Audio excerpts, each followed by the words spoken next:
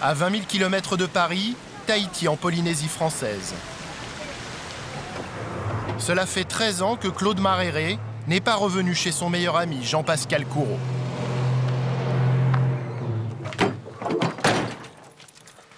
Voilà, on y est. Jean-Pascal Courreau, alias JPK, un journaliste d'investigation de 37 ans. Il vivait ici, dans cette petite maison. Dans la nuit du 15 au 16 décembre 1997, JPK disparaît mystérieusement. C'est sa femme qui constate sa disparition. Ils sont dans le salon, dans le séjour, et elle, au bout d'un moment, s'allonge sur un canapé, s'endort. Euh, quand elle se réveille euh, une heure plus tard, Jean-Pascal est devant elle, debout, euh, je crois, debout. Et puis elle se rendort à nouveau et vers minuit, dans ces eaux-là, elle se lève pour aller se coucher dans la chambre. Elle croit y retrouver Jean-Pascal et là, il n'y a personne. À l'époque, Jean-Pascal traverse une période de dépression. Affolé, sa femme pense qu'il s'est suicidé et prévient la famille en pleine nuit. Rapidement, des, recherches s'organisent, mais on est quand même dans le, dans le flou. Quoi, hein. on, va vers le... Vers, euh, euh, elle parle de suicide, je crois bien même. La famille et la gendarmerie fouillent les environs. Aucune trace de JPK. Peu de temps avant, le journaliste avait confié à un proche que s'il devait se suicider, ce serait avec des somnifères, en nageant jusqu'à épuisement. Les gendarmes concluent au suicide, un scénario est établi. JPK serait sorti de chez lui pour marcher 6 km jusqu'à la plage, en bas de cette colline. La suite du drame se serait déroulée sur ce bord de mer. C'était un endroit qui lui était familier, il venait souvent ici, avec ses amis d'ailleurs, euh, discuter, surfer, raconter, des blagues, passer des bons temps. Et donc, il serait venu ici, il aurait, chaussé ses palmes et serait parti nager après avoir avalé des somnifères. Et il aurait nagé puis il aurait coulé. Dans un premier temps, la famille accepte cette version, mais certains, comme Claude Maréré, restent sceptiques. La, thèse du suicide, j'y crois pas, crois pas. Par contre, oui, l'enlèvement qui a mal tourné, oui, ça me paraît beaucoup plus plausible. Tant que les, les investigations n'ont pas été menées jusqu'à long terme, moi, je trouve que c'est pas encore terminé. 13 ans après sa disparition, on est toujours sans nouvelles de Jean-Pascal Courreau. Son corps n'a jamais été retrouvé. Mais ce qui aurait pu être un banal fait divers va se transformer en affaire d'État en Polynésie. Une histoire qui va résonner jusqu'au couloir de l'Élysée à Paris.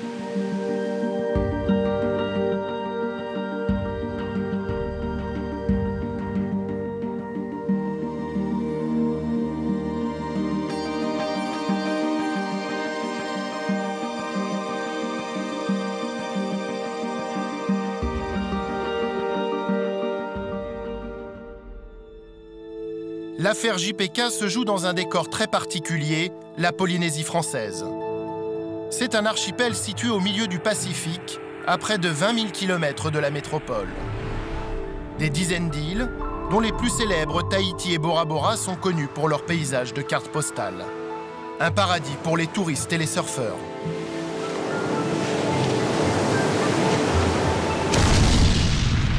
Mais la Polynésie, c'est aussi un endroit stratégique pour l'État français. C'est là que les essais nucléaires ont été réalisés pendant 30 ans. C'est un territoire de la République française au statut unique, encore plus autonome que les dom-toms. Il a son propre drapeau, ses propres lois et même son président. Pendant 20 ans, l'homme fort de Tahiti, c'est Gaston Floss. Madame euh, euh, la ministre, messieurs les ministres, Mesdames et messieurs les représentants, chers collègues.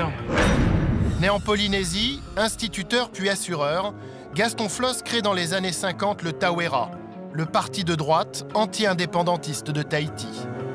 C'est aussi l'un des fondateurs du RPR, ami intime de Jacques Chirac. Entre les deux hommes, il y a une sorte de pacte. Gaston Floss fait accepter aux Polynésiens les essais nucléaires de Mururoa et apaise la rue quand elle s'embrase.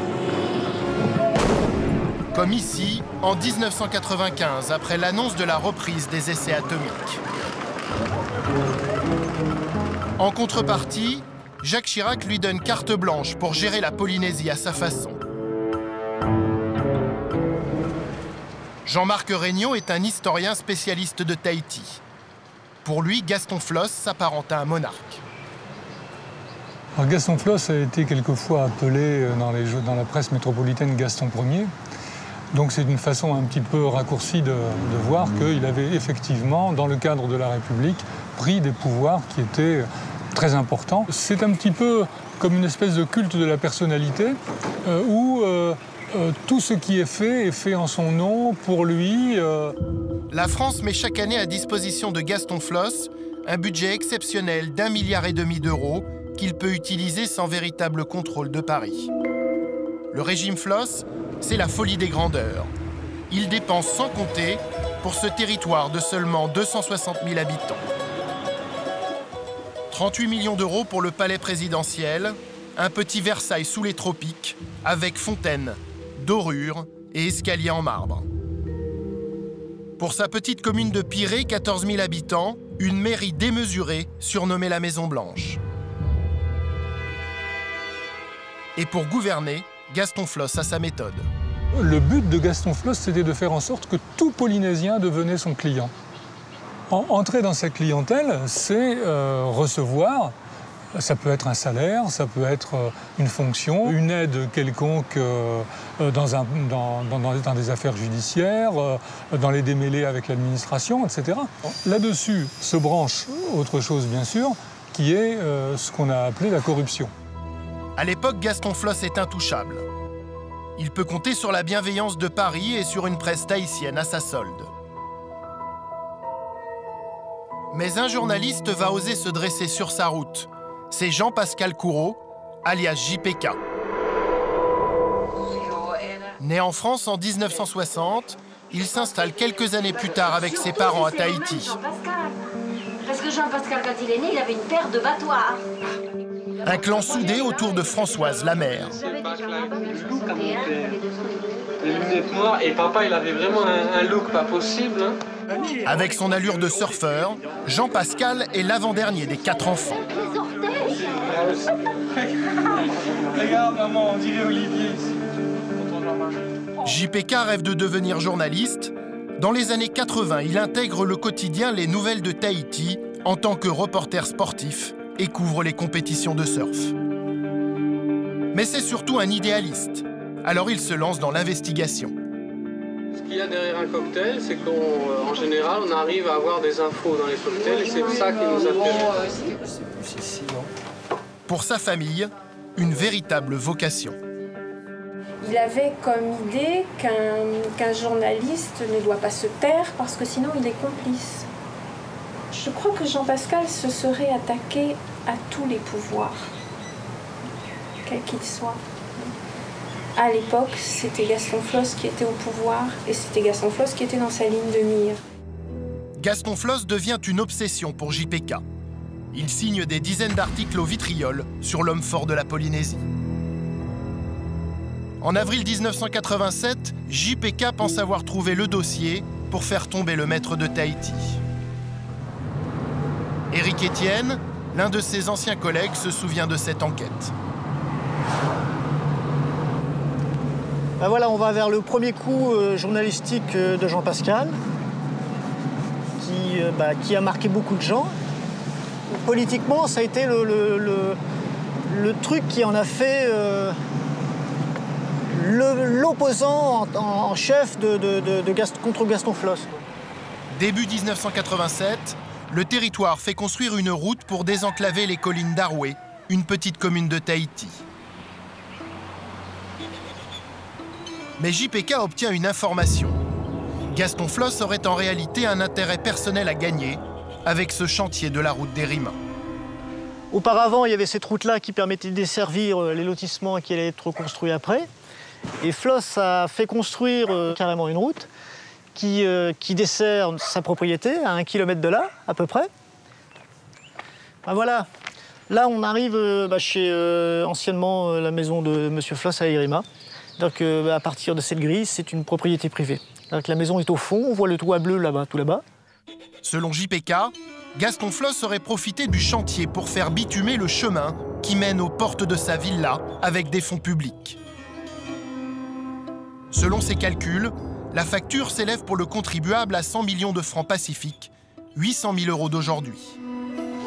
Et l'histoire ne s'arrête pas là. JPK révèle également que Gaston Floss a fait construire un mur d'une cinquantaine de mètres de long pour soutenir sa propriété. Un mur bâti par des employés payés par le territoire, une pratique qui semble illégale. L'article de Jean Pascal a conduit à des actions en justice qui ont valu les premières condamnations de Floss. Euh, bah quand même, il leur a fait énormément de mal.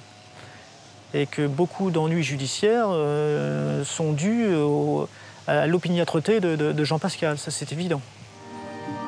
JPK découvre également que la route aurait été construite sur des terrains acquis de façon litigieuse. Cela vaudra à Gaston Floss d'être condamné à six mois de prison avec sursis, avant d'être relaxé par la Cour d'appel de Paris. Mais avec Jean-Pascal Courreau, pour la première fois, l'homme fort de la Polynésie est ébranlé. JPK devient un journaliste gênant. D'autant qu'il dispose d'une source de premier choix. Renaud de la Favrie, un ancien directeur de cabinet de Gaston Floss, passé dans l'opposition. Nous l'avons retrouvé à Paris. Gaston Floss méprisait ou feignait de mépriser Jean-Pascal Courreau, mais euh, il ne se cachait pas de l'agacement, et pire que ça même, que lui causait Jean-Pascal Courreau. Parce que Jean-Pascal Courreau était toujours accroché à ses basques. Gaston Floss devait se lever tous les matins en se demandant euh, qu'est-ce que Jean-Pascal allait bien pouvoir encore euh, trouver contre lui. En avril 1988, JPK frappe un gros coup. À l'époque, il est rédacteur en chef des Nouvelles de Tahiti et sort un numéro spécial à charge contre le président de la Polynésie numéro intitulé Le règne calamiteux de Gaston Floss. À l'intérieur, les articles de JPK dénonçant les affaires du président polynésien. Les six plus belles casseroles de Gaston Floss. Gaston, roi du biniou à l'Assemblée. On y trouve aussi des caricatures tournant en ridicule le roi de Tahiti. Le problème, c'est Gaston Floss. Un numéro qui a du retentissement jusqu'en métropole. Ça a indisposé euh, énormément euh, Gaston Floss, parce que ce journal a été distribué dans toute la presse métropolitaine, dans, tous les médias en fait métropolitains, et ça fait rire beaucoup de monde. Et ça a contribué à donner de Floss une image effectivement assez désastreuse. Fou de rage, Gaston Floss obtient devant la justice que le numéro soit retiré des kiosques. Le duel entre les deux hommes éclate au grand jour sur les ondes de RFO. Gaston Floss brandit le brûlot et crie à la calomnie en tahitien.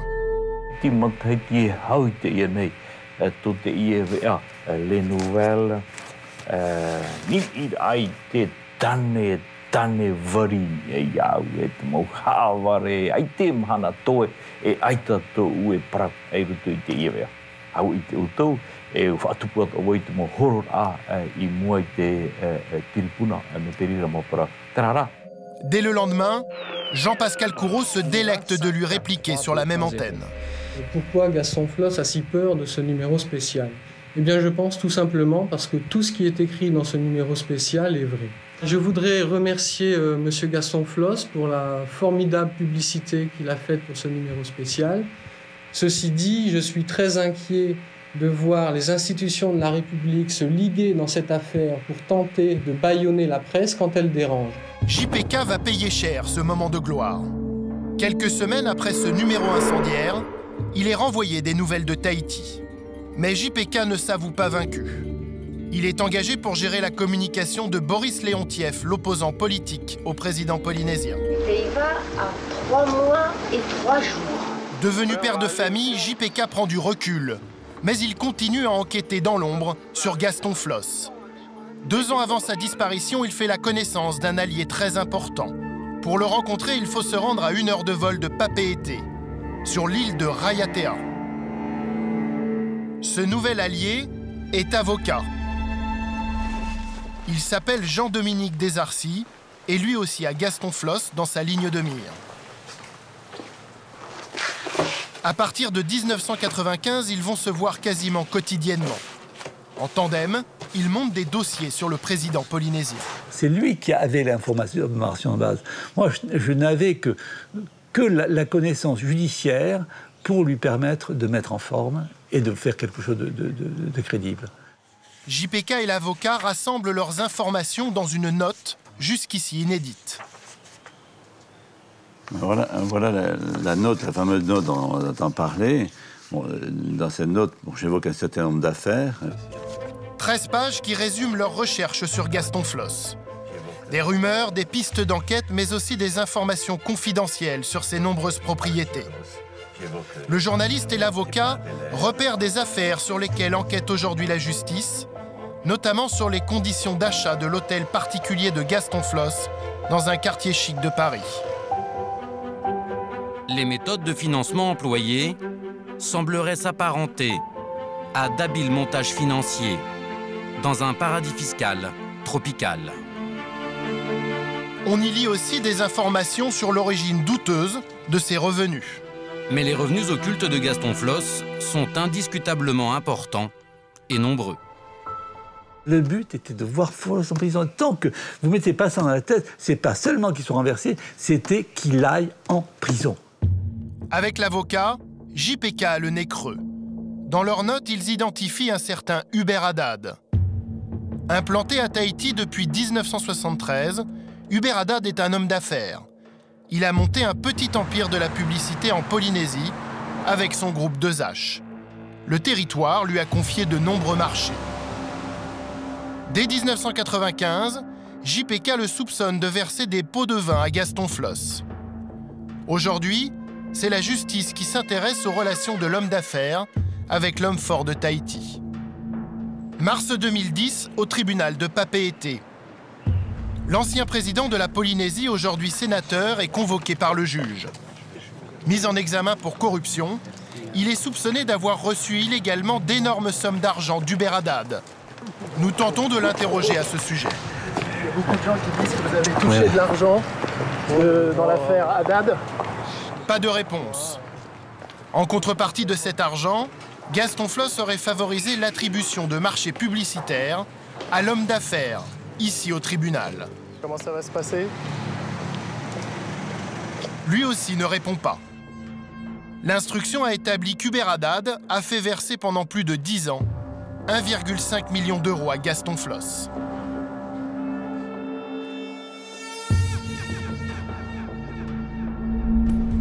Nous avons retrouvé celui qui était chargé de ces versements liquides. Il s'appelle Michel Jonker. C'est l'ancien bras droit d'Hubert Haddad. Il a déjà passé six mois en détention provisoire durant l'enquête. À Tahiti, on le surnomme l'homme qui a brisé l'Omerta. Allez, on y va. Sur instruction d'Hubert Haddad, pendant 13 ans, il s'est rendu une fois par mois à la banque de Tahiti. Bon bah à l'époque, l'entrée était là. Hein. Michel Jonker témoigne pour la première fois retirer en moyenne l'équivalent de 8000 euros mensuels. Euh, donc ça a été fait sur euh, plus d'une dizaine d'années. Je, savais pertinemment que c'était quelque chose qui était euh, relativement chaud, on va dire, et je ne poussais pas trop la demande d'explication. Une fois l'argent retiré, Michel Jonker se dirigeait vers le port de Papeete. Donc on va directement euh, sur le parking où euh, j'effectuais les, les transactions. C'est ici que l'attendait dans sa voiture son contact, la secrétaire particulière de Gaston Floss. J'avais euh, l'enveloppe de billets dans mon, dans mon cartable et puis, et puis voilà, donc j'ouvrais simplement la porte, je lui déposais ça sur le tableau de bord et puis je, je m'en allais. Pour nous, euh, c'était comme ça, c'était un passage obligé. Fallait passer à la caisse. C'était un passage obligé. C'est vulgaire, passer à la caisse. Devant le juge, Michel Jonker s'est fait plus précis sur les contreparties obtenues par le groupe 2H d'Hubert Haddad. Ces versements permettaient au groupe Haddad d'obtenir un volume d'affaires important. Les sommes étaient versées en remerciement des contrats que le groupe 2H obtenait de l'OPT, l'Office des Postes et télécommunications.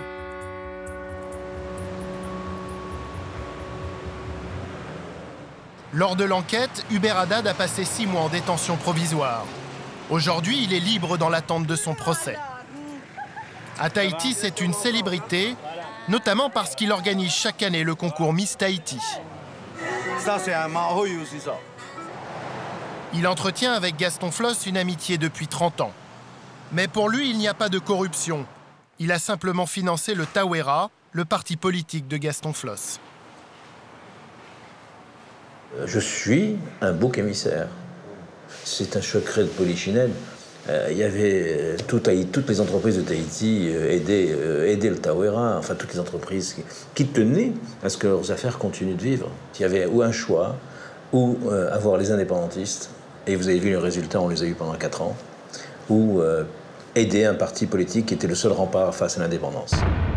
Devant le juge, Gaston Floss a reconnu que cet argent lui servait aussi à titre personnel, notamment pour payer des pensions alimentaires à plusieurs de ses anciennes compagnes.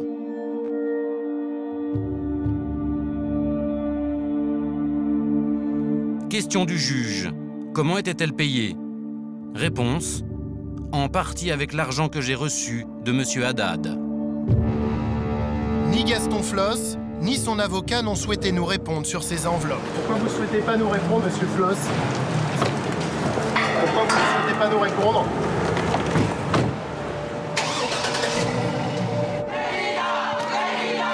Mais la justice a estimé qu'il y avait suffisamment d'éléments pour placer Gaston Floss en détention provisoire pendant plus d'un mois fin 2009. Pour la première fois, l'ancien président polynésien était incarcéré. Son procès pourrait se tenir dans quelques mois.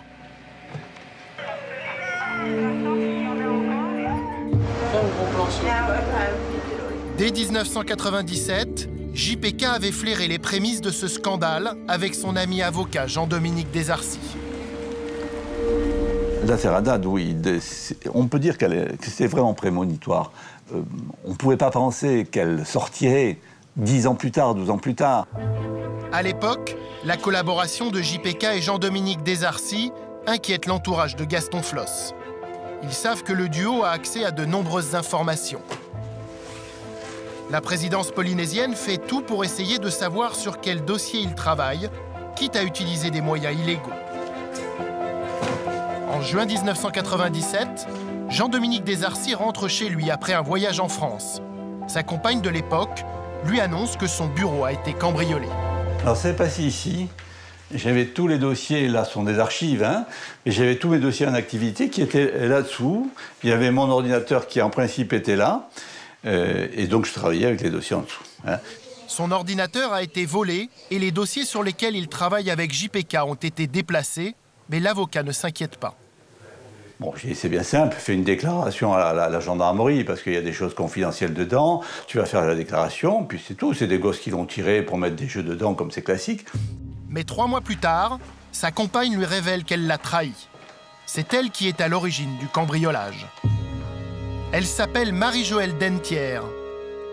Nous l'avons retrouvée. Elle vit aujourd'hui à Grenoble. C'est la première fois qu'elle accepte de témoigner. À l'époque, elle est en instance de séparation avec Maître Desarcy. Sans ressources, elle est prête à tout pour gagner de l'argent et prend contact avec un ami qui fait du renseignement pour la présidence polynésienne. Il m'a dit, écoute, si tu veux, je peux, je peux voir. Il m'a pas dit je vais faire, il m'a dit je peux voir si ça, si ça peut intéresser. Donc, a téléphoné à, à Papeete pour savoir euh, s'il pouvait euh, faire quelque chose pour moi. Il est revenu en me disant, écoute, oui, euh, les dossiers du, du cabinet, tous les dossiers de Maître Desarcis s'intéressent fortement la, la, la présidence, quels que soient les dossiers. Tout ce que tu peux nous donner, tu nous le donnes. Cet ami affirme que la présidence est prête à lui donner un travail en échange des dossiers. Nous l'avons rencontré en caméra cachée à Tahiti. Il nous confirme les propos de Marie-Joëlle Dentière sur le cambriolage de Maître Desarcy. Trouvez-moi du boulot, trouvez-moi de l'argent, trouvez-moi quelque chose. J'ai les documents de l'artiste. Et voilà. Donc je suis allé la chercher. Je l'ai aidé à embarquer ces documents. On a mis tout ça dans des valises, dans des, sacs à main. Et elle m'a dit, il y a beaucoup de choses encore sur le disque dur. J'ai dit, bah, écoute, on fait une copie. Donc elle n'a pas de disquette. Qu'est-ce que j'ai fait? J'ai décapsulé le coffret. Maintenant, le disque dur. On l'a déposé chez Prunet, je ne vais pas assister à la conversation. Jean Prunet, le directeur de cabinet de Gaston Floss. Après le cambriolage, c'est lui qui reçoit Marie-Joëlle Dentière avec les dossiers. Monsieur Prunet m'a dit on va photocopier et, vous allez remettre les dossiers à leur place. C'était l'opération branle-pas de combat, oui. Directement. Ils ont réquisitionné plein de monde. C'était un dimanche. hein. Ils ont rappelé les secrétaires du Taouera. Ils ont fait appel au hein, au parti, aux gens du parti pour venir euh, tout photocopier. Le Tawera, le parti de Gaston Floss. Nous avons demandé à son avocat Maître Quinquis si le président de la Polynésie était au courant de ce cambriolage. Gaston Floss, le dossier démontre qu'il n'en a jamais rien su. Jamais. Jamais. Il ne l'a su, bien évidemment, que lorsqu'il y a eu un dépôt de plainte de la part, et légitime de la part de mon confrère. Pourtant, Marie-Joëlle Dentière affirme que Gaston Floss était dans la confidence via son directeur de cabinet, Jean Prunet. Ce que je sais, c'est qu'il était, et ça je suis catégorique, qu'il était en, contact direct à, Paris avec M. Floss, qui suivait pas à pas les événements de l'affaire de- des photocopies. Régulièrement, M. Prunet téléphonait à M. Floss pour lui demander euh, ce qu'il devait faire. L'histoire ne s'arrête pas là. Deux mois après le cambriolage, Marie-Joëlle Dentière transmet aussi à la présidence la fameuse note de JPK et des Arcis sur les affaires de Gaston Floss. Cette fois-ci, le président de la Polynésie la reçoit en personne. Quand euh, M. Floss m'a reçu donc en tête à tête dans son cabinet, la première chose qu'il m'a dit, je vous remercie vraiment beaucoup. Je n'avais pas osé espérer en avoir autant. Ça, c'est la première chose. Et la deuxième chose qu'il m'a dit, tout ce qui a été écrit, ils ont fait un sacré, il a fait un sacré travail. Il m'a dit très précisément, il a fait un sacré travail parce que tout ce qui est écrit dedans est vrai. Et c'est là où j'ai dit, mais il n'a pas travaillé seul. Il a travaillé avec l'aide d'un journaliste, Jean-Pascal Coros. Pour ce cambriolage, Jean Prunet, le directeur de cabinet de Gaston Floss, sera condamné à 9 mois de prison avec sursis. Marie-Joëlle Dentière à 6 mois avec sursis. À l'automne 1997, JPK, le journaliste, est mis sous haute surveillance par la présidence. Pour cela, Gaston Floss dispose d'une structure au contour trouble. Le GIP, le groupement d'intervention de la Polynésie. Au départ, il a été créé pour aider la population en cas de cyclone. Avec le temps, c'est devenu la garde prétorienne du président polynésien. Ils se font un grand honneur à être fidèles à cette réputation d'efficacité qui les caractérise. Gaston Floss les surnomme ses légionnaires. Fin 1997, une poignée d'entre eux sont réunis dans une cellule d'espionnage, le CED. Formés par d'anciens agents des services secrets français, leur mission fournir à Gaston Floss des informations sur ses opposants. Nous avons rencontré en caméra cachée l'une de ces anciennes barbouzes de la Polynésie. Il révèle qu'un mois avant sa disparition, JPK était la cible numéro un du service. C'était la seule pression qu'on subit à l'époque? Ah, JPK, c'était la seule. C'était une première cible, on dit, euh, cohérent. Et, pour- et pourquoi vous voulez que vous suiviez JPK Parce que j'étais un opposant du président à l'époque.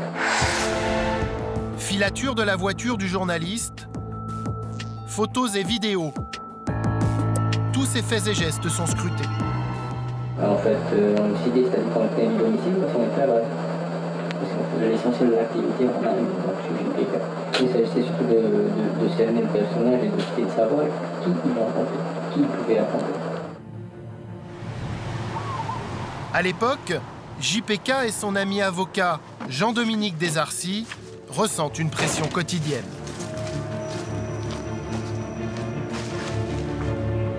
une ambiance très délétère.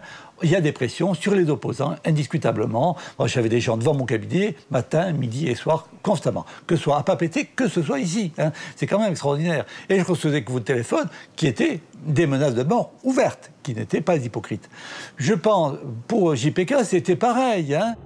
JPK et l'avocat travaillent alors sur une piste d'enquête très sensible qui touche au sommet de l'État français nous soupçonnions, euh, JPK et moi, euh, des transferts de fonds au départ de la Polynésie vers, euh, vers le RPR. Dans leurs fameuses notes sur les affaires de Gaston Floss, ils s'interrogent sur un possible financement via la Polynésie des activités politiques de Jacques Chirac. Chirac a indiscutablement des intérêts très importants en Polynésie. Il y a eu quand même un soutien de Chirac à Floss. On ne le fait pas gratuitement, c'est pas possible. Il y, a, autre chose, il y a des intérêts, à mon avis. Il y a des intérêts financiers. Pour JPK et l'avocat, le soutien sans faille que Jacques Chirac apporte à Gaston Floss a un prix. Selon eux, un ami du président polynésien servirait de financier occulte au président de la République. Il s'appelle Robert Van. C'est un riche propriétaire d'exploitation perlière en Polynésie. Il fréquente régulièrement Jacques Chirac et a même offert à Bernadette un bijou d'exception, une perle noire. Selon JPK, une partie des revenus que Robert Van tire de ces perles alimenterait un compte détenu par Jacques Chirac au Japon. En échange de ce financement, Robert Van aurait obtenu de nouvelles concessions perlières de la part des autorités polynésiennes. Pour la première fois, il accepte de répondre à ces accusations. C'est de la fiction. C'est de la pure invention. Comment voulez-vous que moi, un petit Chinois ici, euh, qu'on voit, euh, aide le président de la République? Pour moi, quel honneur que j'ouvre un compte pour M. Le milliardaire préfère en sourire. Pourtant, il a récemment été perquisitionné et entendu sur cette question, sans être inquiété, pour l'instant. Sur cette affaire, JPK et l'avocat avaient une nouvelle fois eu du flair. Car aujourd'hui, la justice mène une enquête tous azimuts sur ce compte japonais de Jacques Chirac qui aurait servi à financer son action politique. Cette enquête s'appuie notamment sur une note confidentielle de la DGSE, les services secrets français, que nous nous sommes procurés. En novembre 1996, le chef de la DGSE au Japon y affirme. Le montant des sommes versées sur le compte ouvert au nom de M. Chirac serait d'environ 300 millions de francs. Des commissions rogatoires ont récemment été envoyées au Japon pour vérifier l'existence de ces avoirs. Effet exceptionnel, le juge a perquisitionné dans cette banque à Paris le compte personnel de Jacques Chirac pour vérifier d'éventuels mouvements suspects, comme l'atteste ce document que nous avons obtenu. Relevé du compte de M. Jacques Chirac, le 7 janvier 2003, le compte présente un solde créditeur de 14 491 euros. Rien de suspect là-dedans. Jacques Chirac a fermement nié l'existence de ce compte japonais. Mais l'enquête est toujours en cours. En 1997, l'histoire le montre, les enquêtes de JPK touchent à des domaines très sensibles. Désormais, il se sent même menacé physiquement. C'est ce qu'il confie à Dominique Morvan, une amie journaliste trois jours avant sa disparition. Donc quelques jours avant sa disparition, Jean-Pascal vient à l'agence et il me dit que quelques jours auparavant, alors qu'il revenait chez lui en moto, une voiture l'a serré au point d'essayer de le renverser dans le, dans le ravin, sur le bord de la route. Euh, donc il, a, il avait vécu ça comme une intimidation. Il y avait à ce moment-là une oppression légère, dosée. C'était vraiment dosé, juste ce qu'il fallait pour vous faire comprendre que vous deviez faire un pas en arrière. En décembre 1997, selon son entourage, JPK semble inquiet et fatigué. L'après-midi de sa disparition, JPK se trouve à la mairie d'Arway où il travaille. Il est en réunion avec Philippe Schill, le premier adjoint du maire Boris Léontiev. À un moment donné, au plus fort de la discussion, euh, Jean-Pascal euh, recevait un, coup de téléphone. Je me souviens l'avoir vu venir vers Boris et moi-même, euh, l'air un petit peu décomposé, inquiet, nous disant il faut que je rentre. Il était vraiment pas bien parce que je autant euh, les quelques minutes auparavant euh, la discussion était très- agréable, on, rigolait, c'était passionné euh, et puis là tout d'un coup c'était c'était vraiment un autre homme et, et il est parti. Il est parti et personnellement je ne l'ai plus jamais revu. Ce jour-là, Philippe Schill pense que JPK s'absente à cause d'un problème de famille et qu'ils se reverront comme prévu le lendemain. Il est loin d'imaginer le drame qui est en train de se nouer. La nuit suivante, JPK disparaît. Dans sa chambre, une mise en scène macabre. Un crâne humain est laissé sur le lit. Sa femme affirme avoir retrouvé un mot énigmatique disant quoi que je fasse, où que j'aille, je continuerai à t'aimer. Mot qu'elle aurait jeté et qui n'a jamais été retrouvé. Un temps soupçonnée, elle est finalement mise hors de cause. JPK est recherché dans toute la région, sans résultat. À l'époque, sa disparition ne fait pas l'événement à Tahiti. Depuis quelques années, le journaliste travaille dans l'ombre et ne fait plus la une des médias.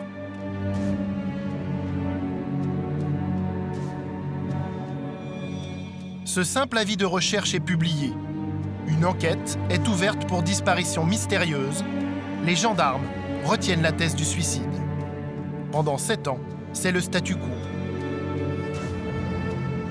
Mais en 2004, coup de théâtre. Un témoignage remet totalement en cause la version officielle. VTA Guillou, un ancien du GIP, la garde prétorienne de Gaston Floss, fait des révélations aux enquêteurs. Il affirme que JPK ne s'est pas suicidé et dit avoir assisté à son enlèvement. Ce qui est resté dans ma tête, c'est ce soir-là. Je ne peux pas vous dire si c'était le 15, le 16, le 17 décembre 1997, mais j'ai vu, j'étais témoin oculaire de sa disparition. Nous avons retrouvé un document inédit. Le témoignage écrit que VTA Guillou remet à la justice, où il décrit l'enlèvement de JPK et affirme l'avoir surveillé en décembre 1997. Je sous-signais Monsieur Guillou Paul VTA. En mon âme et conscience. Je devais prendre en filature Monsieur J. J pour JPK. Selon son témoignage, VTA attend devant cette maison, caché dans sa voiture, et surveille le journaliste dans son rétroviseur. Il était entre 20h30 et 21h. Il est sorti avec des dossiers dans les bras quand j'ai vu un fourgon blanc arriver devant lui et repartir. Suite à ce témoignage, VTA est entendu par les gendarmes et se fait plus précis sur l'enlèvement auquel il affirme avoir assisté. Le fourgon est reparti. Le fourgon était nerveux et je n'ai plus vu Jean-Pascal Courreau. VTA décide de suivre la camionnette. Il parcourt plusieurs kilomètres dans la ville de Papeete, direction le port. C'est là que j'ai vu le fourgon entrer dans les locaux du GIP. Selon lui, JPK aurait donc été enlevé par des membres du GIP, puis emmené dans leurs locaux sur le port. VTA affirme quitter les lieux sans se poser plus de questions.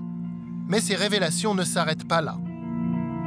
Quelques jours après cet épisode, lors d'une soirée arrosée, deux gros bras du GIP lui confient avoir participé à la disparition du journaliste. Comme l'affirme VTA Guillou lors d'une interview en 2005. Je commençais à poser des questions à Tino. Ah, dit, t'es au courant d'un certain journaliste GPK Et le gars, il me dit, euh, en rouloutou. Il dit, ah, ce cochon-là, on l'a emmené au large avec quatre papins et on l'a jeté au large. Eux, ils voulaient avoir des, des renseignements sur un dossier sur, sur- un dossier sur, sur. Ils ont attaché les mains, les pieds avec quatre papins, avec une corde de 15 et 10 mètres.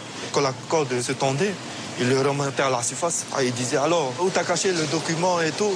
Et lui, il était à l'agonie. On le replongeait au bout de trois fois et il commençait à se lâcher. Et quand il, commençait à se, quand il s'est lâché, ils ont appelé les autres. Qu'est-ce qu'il fallait faire? Est-ce qu'il fallait l'amener à l'hôpital ou, il fallait le nettoyer? Et après, il a disparu. Ils ont eu l'ordre de le, de le couler. Selon VTA Guillou, JPK aurait été coulé par deux hommes du GIP au fond du lagon lors de cet interrogatoire musclé pour connaître les informations qu'il détenait sur Gaston Floss. Dans sa déposition, VTA Guillou accuse deux personnes. Qui étaient les personnes qui étaient sur le bateau avec le journaliste? Il n'y avait que Toutou Manaté et Tino Mara. Tino Mara et Toutou Manaté, ici à l'image, deux membres du GIP. Toutou Manaté a la réputation de perdre facilement son sang-froid, comme le montrent ces images, filmées il y a 4 ans. Alors que le GIP bloque le port de Papeete, un fonctionnaire de l'équipement en chemise à carreaux rouges est venu faire le point sur la situation. C'est Toutou Manaté en t-shirt et casquette noire qui s'occupe de l'accueillir.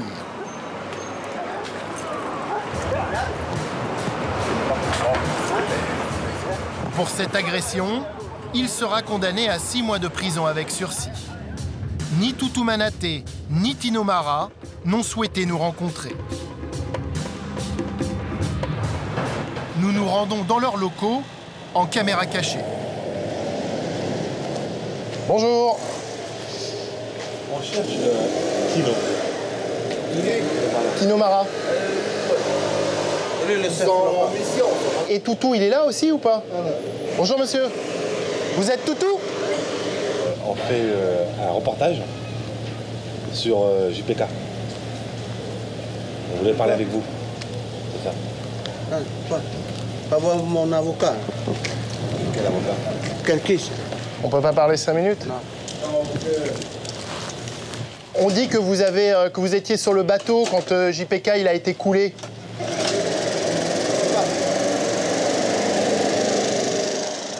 Faut parler là-bas. Pourquoi Après, Après, il va me taper Attention. Là, il va s'énerver. Ouais. Des membres du GIP ont-ils pu faire taire JPK Il n'en existe aucune preuve. Mais l'hypothèse semble crédible à l'ancien directeur de cabinet de Gaston Floss, Renaud de la Favrie. Dans l'entourage de Gaston Floss, dans ce fameux service euh, qu'on appelle le GIP, je crois, euh, où il y avait près de 1300 personnes, euh, il n'y avait pas que des docteurs en droit, n'est-ce pas?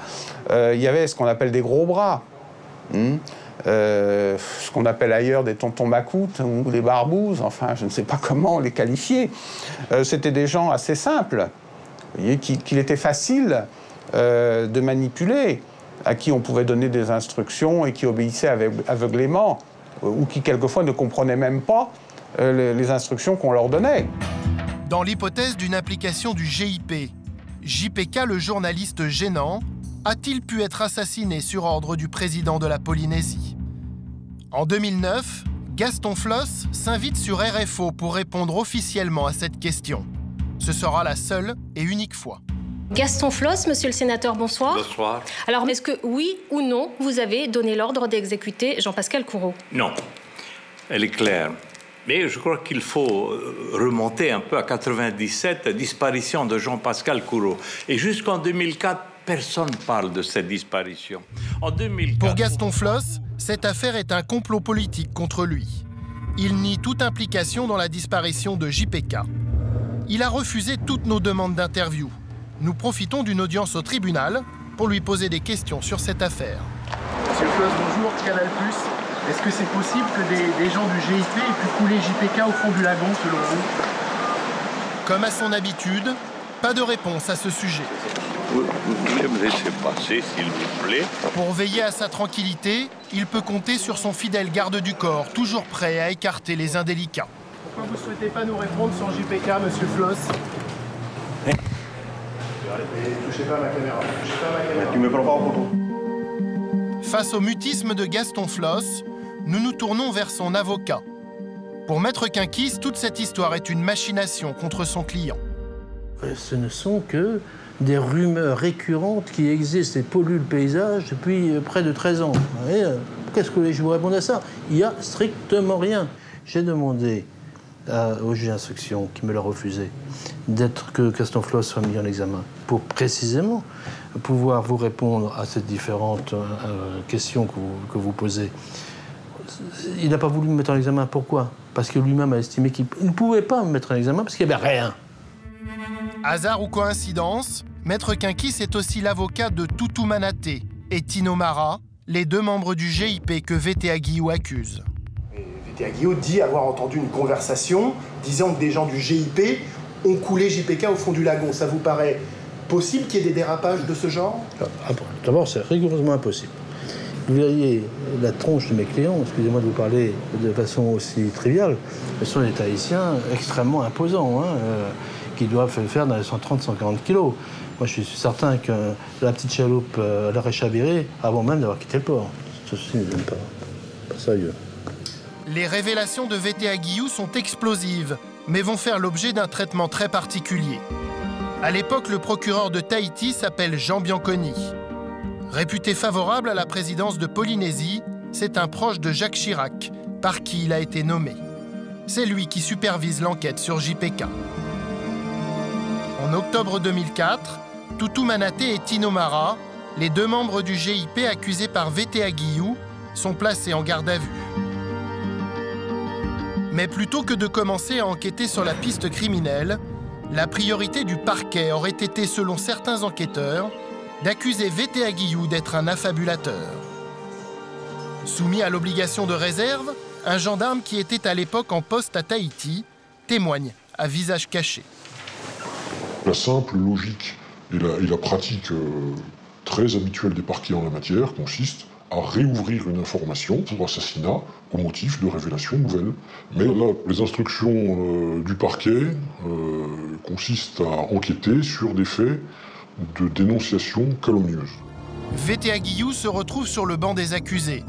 Le procureur s'appuie sur des incohérences d'horaire pour discréditer son témoignage.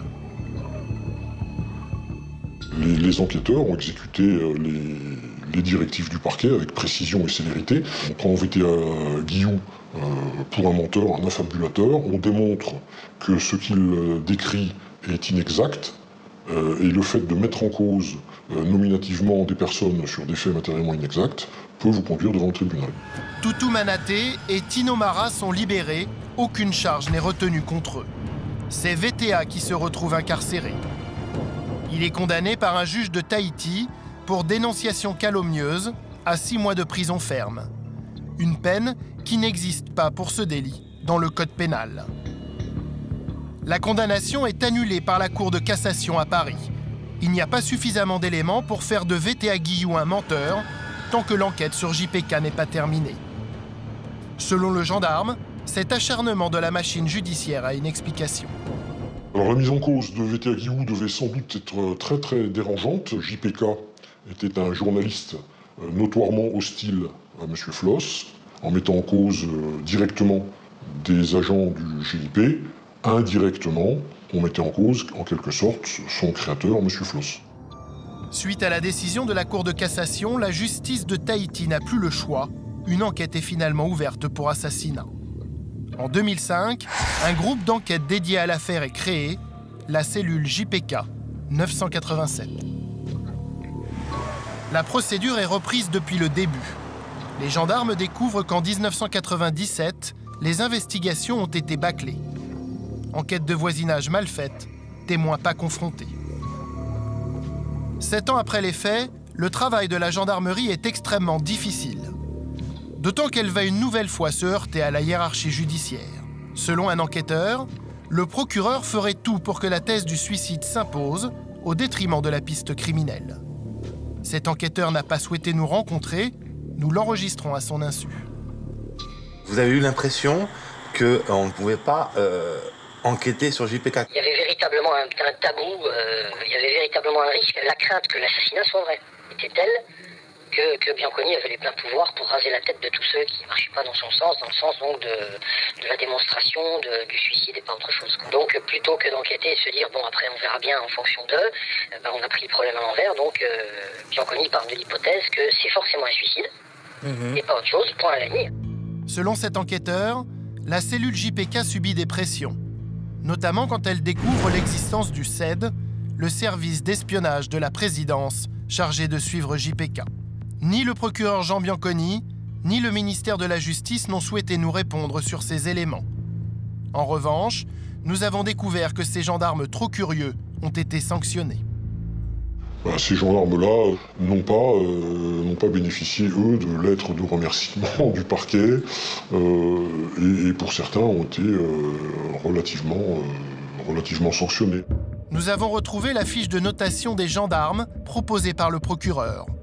Au lieu des notes habituelles de 4 ou 5, ils écopent de notes moyennes 3 ou 3,5. On leur reproche d'avoir mené leur enquête impliquant Gaston Floss sans en référer au préalable au sommet de la hiérarchie. Ce manquement au devoir d'information du parquet ne permet pas d'accorder à cet officier de police judiciaire une pleine confiance dans la qualité des procédures qui lui sont confiées. Aujourd'hui, l'enquête sur la disparition de JPK est toujours en cours. Gaston Floss n'est plus président de la Polynésie. Redevenu simple sénateur, ses bureaux ainsi que son domicile ont été perquisitionnés sans résultat. Il n'a pas été entendu dans l'affaire JPK. 13 ans après les faits, personne n'a fait l'objet de mise en examen. Le corps du journaliste n'a jamais été retrouvé. Le mystère n'est toujours pas résolu. Malheureusement, ce qui est le plus douloureux, c'est qu'on ne pourra pas apporter à la mère de ce journaliste une explication pragmatique, technique, et on ne pourra pas lui dire, Madame, on a fait une enquête belle, propre, complète, et on n'a rien à se reprocher. On ne pourra pas dire ça. On pourra dire qu'on a bricolé, qu'on a duré, qu'on s'est pris les pieds dans le tapis, et Madame, on n'est pas foutu de vous expliquer comment a disparu votre fils. En 2009, le procureur Jean Bianconi a pris sa retraite. Un nouveau magistrat a été nommé. La famille de JPK espère que ces changements à la tête de la justice tahitienne vont relancer l'enquête. Malgré le manque de preuves, ses frères et sœurs ont une conviction dont ils ne démordent pas. Aujourd'hui, hein, et plus que jamais, l'intime conviction qu'il a été assassiné et qu'on espère que la justice pourra faire son travail jusqu'au bout. Ça fait aucun doute qu'il a disparu à cause de son travail, parce qu'il est gêné. Oui, on a voulu le faire taire, bien sûr, on a voulu le faire taire. Pour essayer de faire son deuil, la famille a érigé une pierre tombale à la mémoire de JPK, en espérant que son corps puisse un jour y reposer. 13 ans après sa disparition, le fantôme de Jean-Pascal Courreau hante toujours la Polynésie.